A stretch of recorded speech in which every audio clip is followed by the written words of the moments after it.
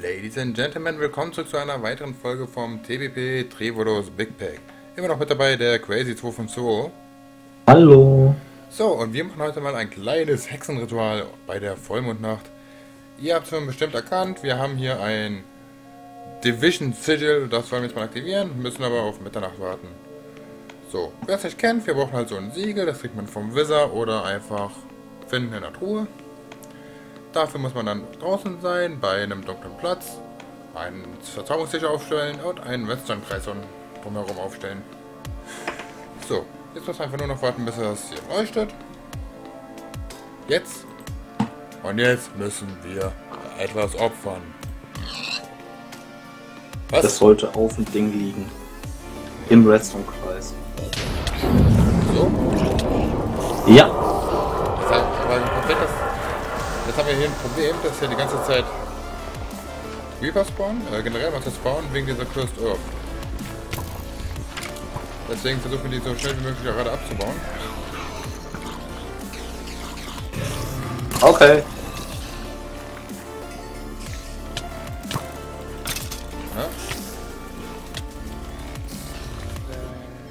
Ja. ja, wir müssen echt mal schauen, dass wir die Erde wegkriegen. Aber sowas von.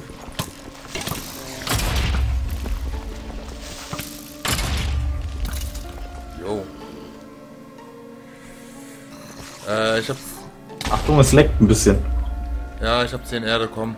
Das reicht, die breitet sich ja aus.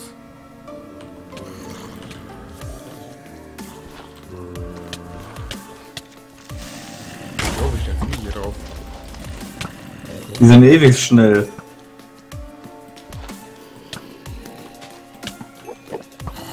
Na? Okay, ich verschwinde hier.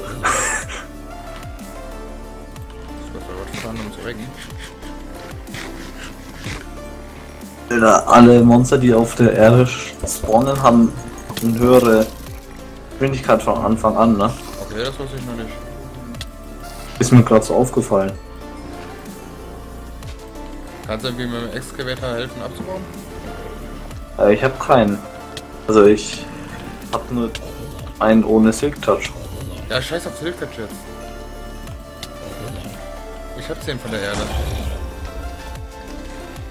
Na klar, kann ich helfen. Bitte, jetzt würde ich nur noch, damit die weggeht. Äh, da hätte ich einen einfacheren Weg, ne? War es einfach. Was meinst du denn? Lass mich nicht sterben, lass mich nicht sterben. Ähm, ja, komm, wir schlafen. Also, du meinst, dass das einfach wegbrennt? Ja. Ja, okay. Denkt man, das wäre jetzt leichter, als das alles abzubauen, oder? Ja, ich versuche noch was von der Erde zu retten. So, die lasse ich dann den lieben Streetiger zukommen, dass er seine Mobform ein bisschen modifizieren kann. Äh, der Enchantment Table ist verbrannt. Ja, draufgeschossen. Obsidian habe ich genug. Was willst du hier großartig verzaubern?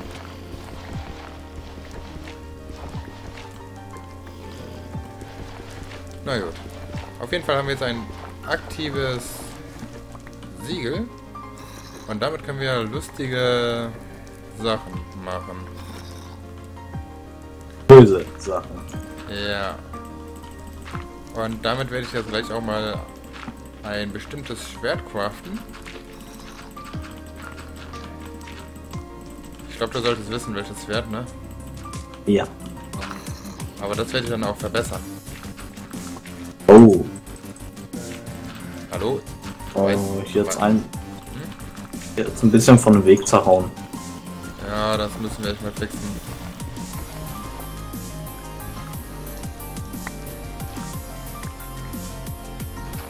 Weißt du auch, wie man das äh, Schwert verbessern kann? Nö. Okay. So sehr habe ich mich damit noch nicht befasst. Ich finde, das ist eins der geilsten Rituale im gesamten Minecraft Mod Pack. Also in allen Mods, die es gibt.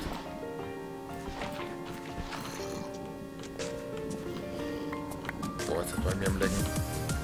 Hm, ich sehe es. Ja, wie gesagt, mein Internet ist momentan nicht das Beste. Es wird momentan bei mir in der Leitung gearbeitet.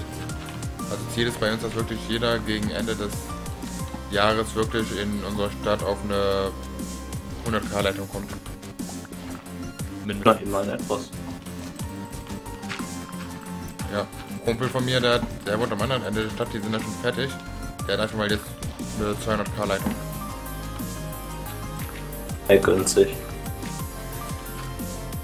So, ähm, müssen wir dann nachher noch weiter reparieren. Alter. Dieser Ping, diese Pinglex. Gut. Dann machen wir Bewegst jetzt. dich bei mir auch immer nur so Block für Block. Bin mal gespannt, ob das jetzt gleich klappt hier. Wir brauchen zwei davon, wir brauchen ein Obsidian und dann zwei Eisenbarren und einen, ganz wichtig, einen Vanilla Crafting Table. Weil mit diesem Siegel können wir jetzt sogenannte Unstable Ingots craften. So. Es gibt davon auch eine sichere Version, aber ich bin ja keine Pussy. Wow, kein blöder Kommentar von dir, ich bin stolz auf dich. Ich halte mal ein bisschen Abstand. Safety first bei dem Gehirn. Gut. Äh, die Cursed Earthen, so schmeiße ich jetzt mal hier rein. Ich entleere mein Inventar jetzt mal gerade so gut es geht von dem wichtigsten Zeug. Ah, hier ist sogar noch mal der Crafting Table. Äh, die Level speichere ich auch mal gerade. Ah ja, Level brauche ich eigentlich auch gar nicht mehr so äh, dringend, ne? Hm, Level brauchst du eigentlich keine mehr. Ja, ja. Gut, willst du jetzt zuschauen, wie ich auf die Fresse kriege? Ach klar. So, ich mach mal ganz schnell vorher einen Ping-Test, wie es bei mir aussieht. 7, okay, 80, das könnte gefährlich werden. Okay. Gut. Das Problem bei diesen Unstable Ingots ist, wenn man damit etwas craftet, die explodieren nach 10 Sekunden. Oder wenn man den Crafting Table verlässt, oder wenn die den Boden berühren. So, die werden so gemacht. Division Sigil, Dia, Eisen. Unstable Ingot. Error. Divided by Diamond. This ingot is highly unstable and will... Scheiße. Nee. And will explode after 10 seconds. Will also explode if the crafting window is closed or the ingot is thrown on the ground. Additionally, these ingots do not stick. Do not craft unless ready. Must be crafted in a vanilla crafting table. So, jetzt habt ihr einmal gelesen und ich mache mich bereit. 3, 2, 1, go. Easy. Ich habe. Ich habe eine Ferric Sword. Respekt. Hm. Darf ich, darf ich einmal Probe schlagen? Nein. Wow. Weißt du, wieso ich nicht einmal Probe schlagen wollte? Warum? Wegen der Durability. Das Schwert hat unendlich Durability. Nice. Und man kann etwas noch craften, das will ich mal zeigen. Wenn man das Schwert in sein Inventar legt, kriegt man hier ein sogenanntes Soul-Fragment. Und jetzt achtet mal auf mein Leben. Weniger. Was? Das Schwert ist verschwunden. Geil, das... In jedem Wiki steht drin, dass das Schwert nicht ver äh, verbraucht wird. Das, das verbraucht sich auch nicht. Das ist weg. Kannst dich beim Mod-Autor und Tobi, denke ich mal, bedanken. Ich glaube, Tobi hat es ausgestellt und ich glaube, es war gerade ein schöner Bug. Äh, ja. Gut. Ich mach's mal von vorne.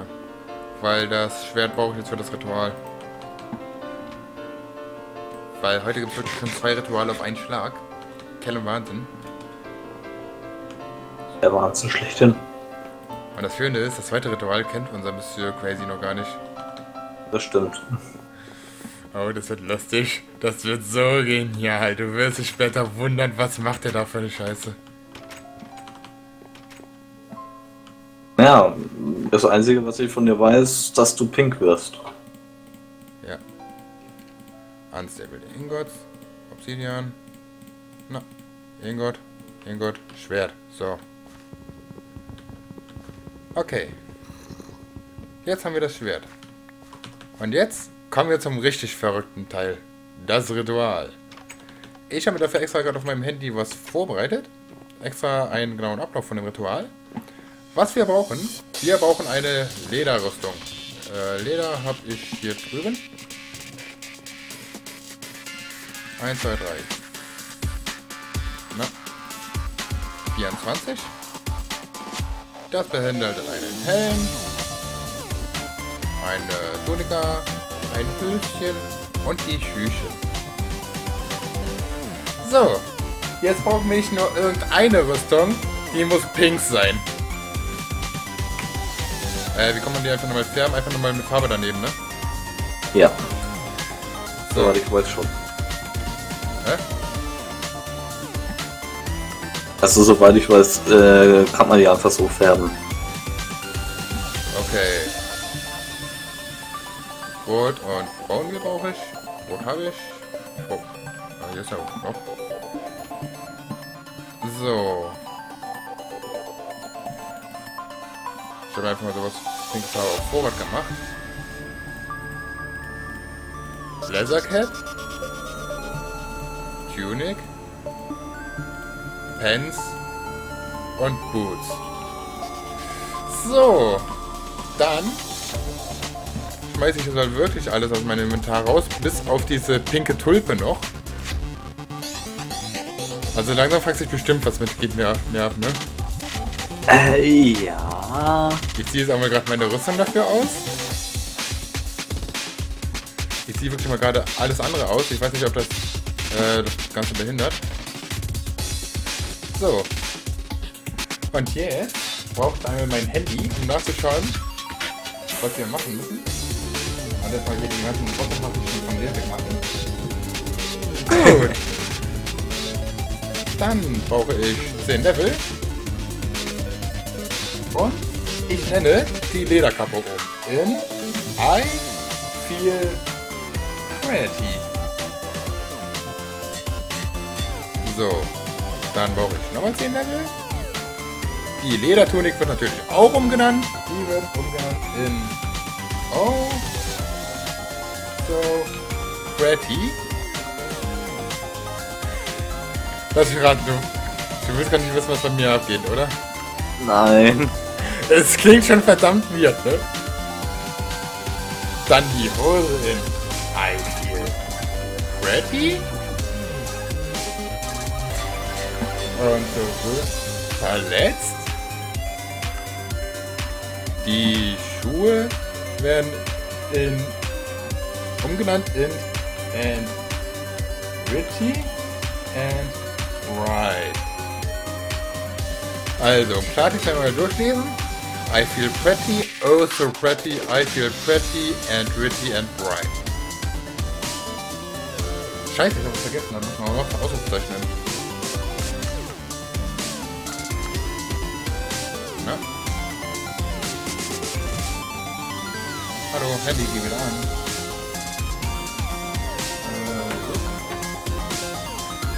Ist ja jetzt blöd. Das ist auch das allerletzte Mal, dass ich jetzt noch Level brauche. So. Hier können wir draufschauen. Ja, ist richtig. Gut.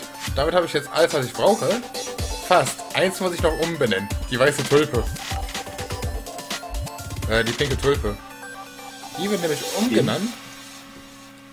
Hallo. Jetzt ist gerade, wollte gerade umbenennen und mein Handy ist wieder ausgegangen. Die Tulpe wird nämlich umgenannt in All You Need Is. Was? Christian? Pink? Nein. Nee, Wuff. Princess. Wuff. So. Jetzt nehme ich das Schwert in die Hand und ziehe die Rüstung an und es sind Partikel um mich herum. Und jetzt laufe ich erstmal hier ein bisschen. Warte mal.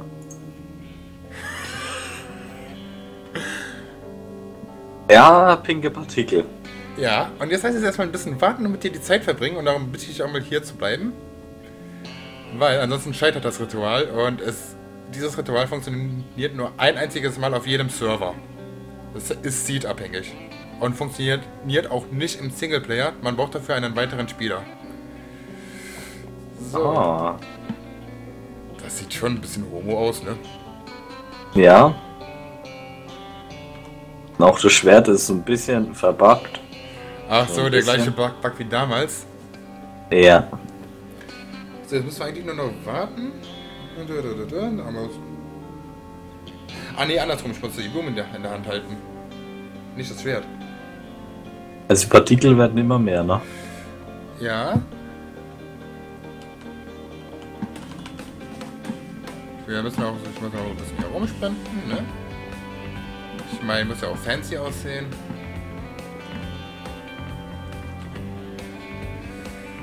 So.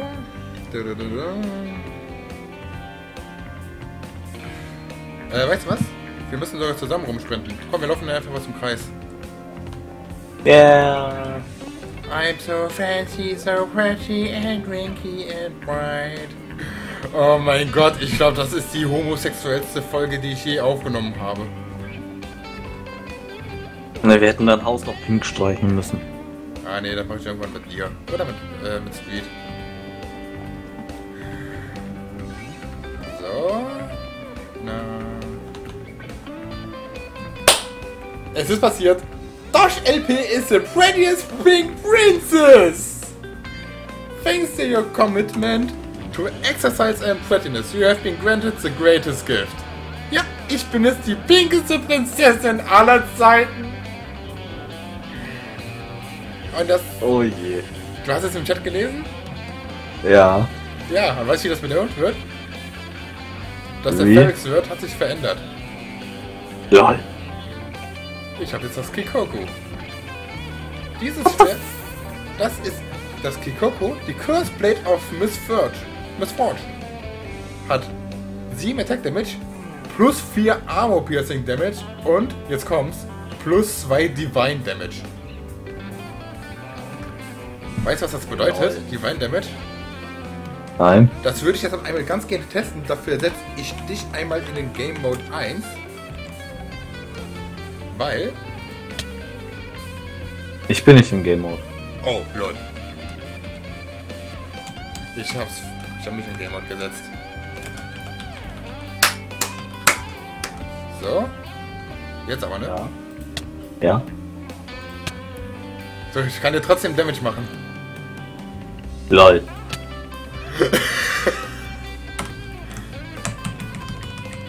Nicht schlecht. Das wäre das geil, ne? Ja.